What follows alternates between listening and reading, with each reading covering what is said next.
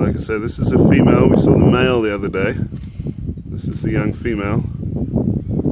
She and her brother recently became independent from their mother. You see both of them still occasionally in the area.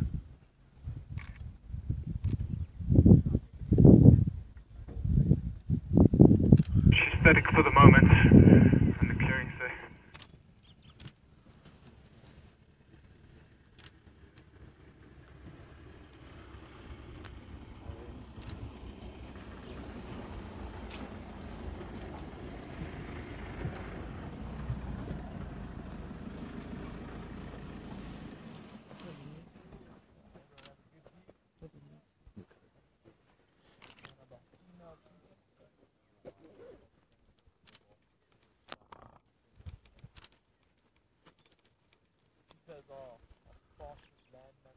Uh, she's gone.